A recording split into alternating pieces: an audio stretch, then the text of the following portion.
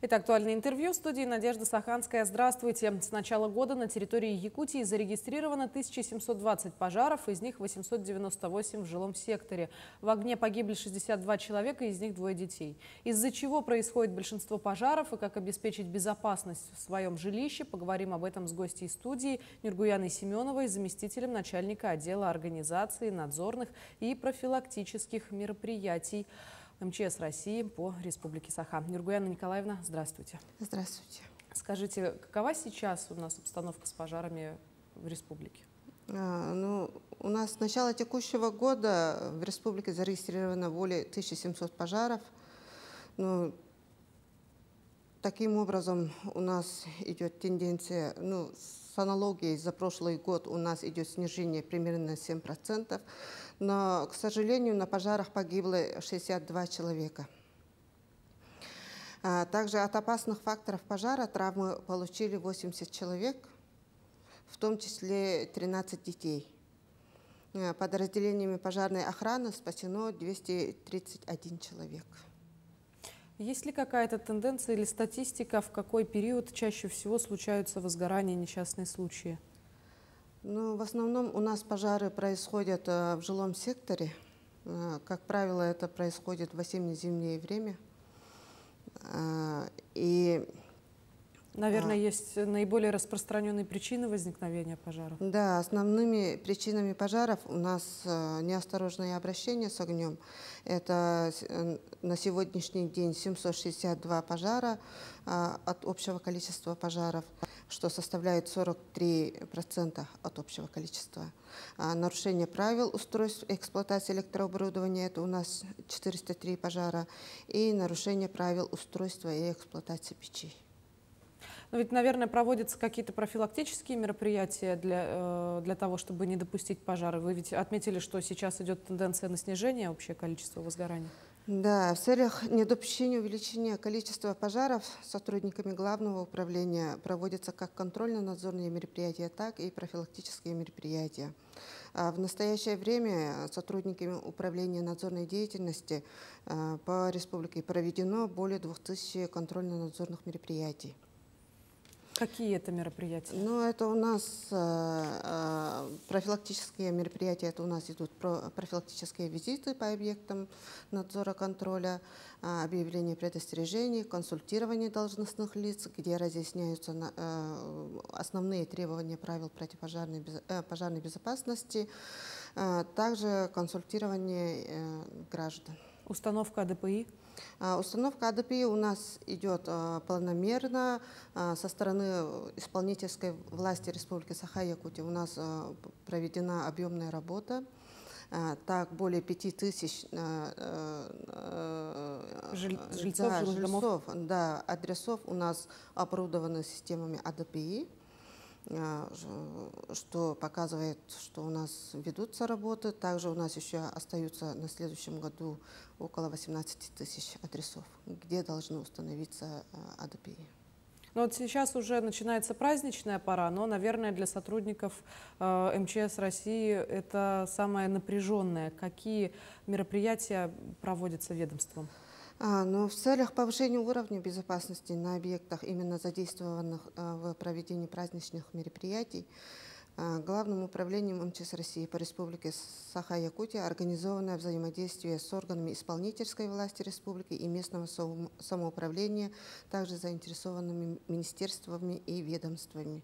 Всего взято на учет ну, более 1400 объектов у нас а, указанной категории, где будут проводиться эти новогодние мероприятия.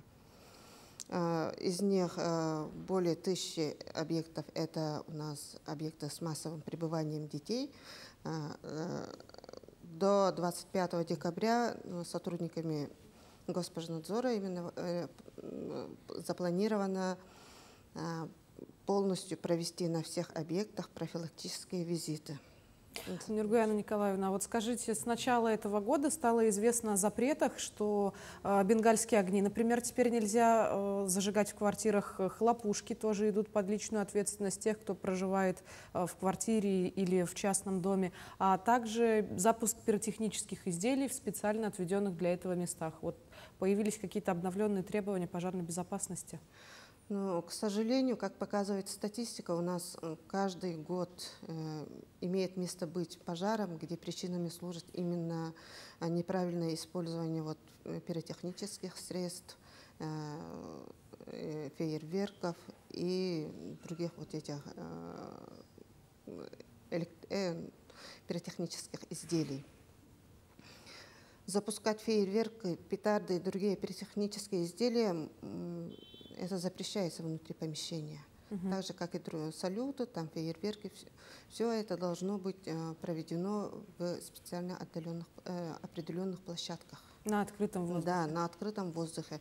Также запрещается э, применять пиротехнические изделия именно на, э, на балконах, на лоджиях, э, с крыши домов, зданий, помещений.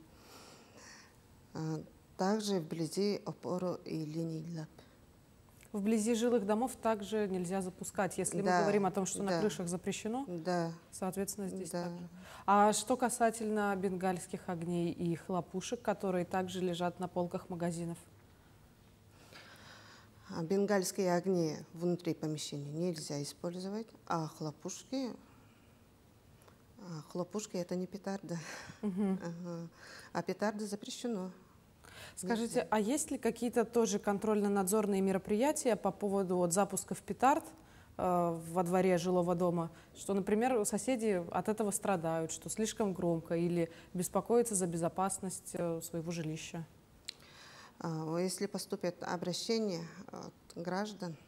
Ага, только а, в этом случае. Да. Давайте поговорим еще и о пожароопасных ситуациях. Как вы оцениваете готовность объектов э, с массовым пребыванием людей в этом ключе? Ну, как, э, как я сказала, что основные объекты, э, где будут проводиться праздничные мероприятия, это у нас школы, сады, сельские дома культуры, клубы. Данные объекты находятся на постоянном контроле Главного управления МЧС. Периодически постоянно проводятся контрольно-надзорные мероприятия и профилактические мероприятия. Но в рамках только вот новогодних мероприятий у нас проведено уже 610 профилактических визитов по данным категориям объектов. А по результатам данных а, профилактических визитов э, грубых нарушений, э, создающих угрозу жизни и здоровью людей, не выявлено. Получается, что объекты соответствуют заданным требованиям безопасности. Да. А растет ли информированность населения о пользе АДПИ? Вот мы об этом с вами поговорили. Да. Давайте вернемся. А, я думаю, что растет. Э, есть такая категория населения, где не подпадают под категории социально незащищенных, но люди уже осознанно сами оборудуют или а, через сторонние организации они уже закупают, сами устанавливают эти АДПИ. Народ уже, уже знает, что это АДПИ может спасти жизнь. Да, были такие случаи. Да, были такие случаи и не один раз. Были случаи, когда именно от оповещения о ДПИ именно семья просыпалась и выходила снаружи, э, что доказывает эффективность данного оборудования. Хотелось бы еще спросить вас о том, какие профилактические мероприятия проходят среди школьников. Ведь э, было раньше такое, отчасти профориентационные курсы, когда детей знакомят с профессией, а иногда, когда приходят в рамках э, урока основы безопасности жизнедеятельности и также рассказывают, что э, спички детям не игрушка. Не игрушка. Да, у нас э, сотрудниками главного управления по всей территории республики э, на постоянной основе уже э, по плану проводятся данные уроки ОБЖ, классные часы, викторины. Также в старших классах идет работа по профориентации учеников. Насколько успешна эта работа? Насколько много желающих связать свою жизнь с такой профессией? Ну, очень много, потому что а, как показывает практика, уже в январе месяце у нас идут э, комплектации в академиях МЧС, где э, уже э, дети получают профессиональную профессию по направлению пожарная безопасность, либо техносферная безопасность. Там уже, да, там конкурс образуется.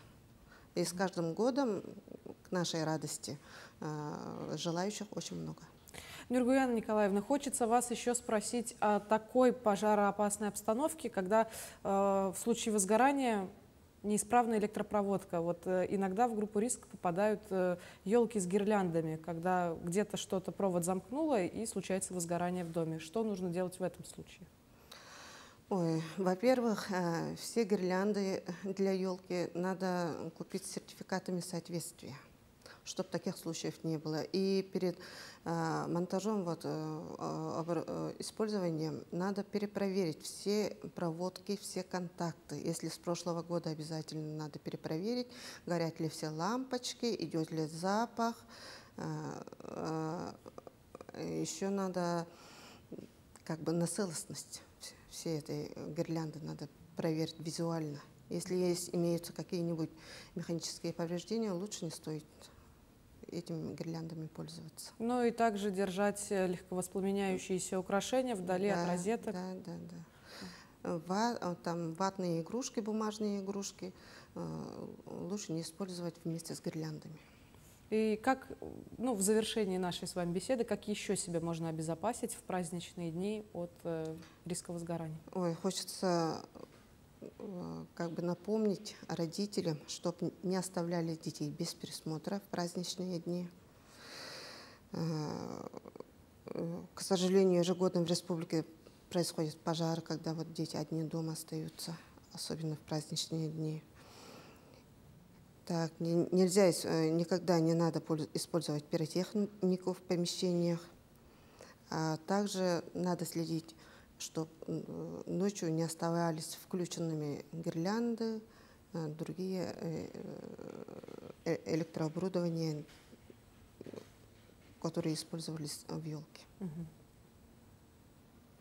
Ну, думаю, что надо помнить истину, что пожар легче предупредить, чем тушить.